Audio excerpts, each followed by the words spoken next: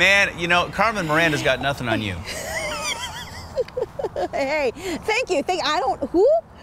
Anyway, I just like to think that I'm making my own uh, uh, impression fashion statement. Yeah, again, uh, the event is happening this weekend at Marymoor Park, and I've got Mackenzie Johnson here. Her official title is Pineapple Handler or Campaign Manager. Tell me about this event, why we're helping out the Leukemia Lymphoma Society. It was such a crazy interesting type of run. So I think this is probably our most fun event that we put on all year, and we fund blood cancer research and patient access programs with all the money we raise from it. And there is still time to sign up for this run. There sure is. Where can we go to sign up? So winterpineappleclassic.org. We have plenty of spots. Come out and do it. Raise some money. Have a ton of fun. Okay. Now you know what? I'm going to hand you this microphone, okay. and I'm gonna. I still have my microphone on, so we're hoping that this works because Mackenzie has set up this obstacle course that I obviously am going to try and try and do. You, the whole point of this is to do the obstacle course while still holding your pineapple. So maybe you can count me off. Okay, just All tell right. me when to go.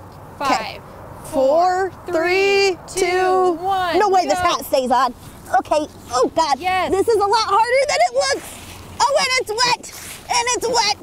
And it's wet. Oh, but my booty, my booty knocked it over. Okay, now what? Oh wait, I still got this. Ah, yes. Oh wait, I think I lost my pants.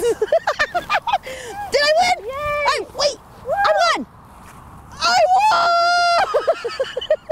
Okay, this is a lot more fun than it definitely looks. And not only are you going to be obstacle course racing through Marymoor Park, yes. but we're also going to have a pineapple launch and a yes. yes. That's next.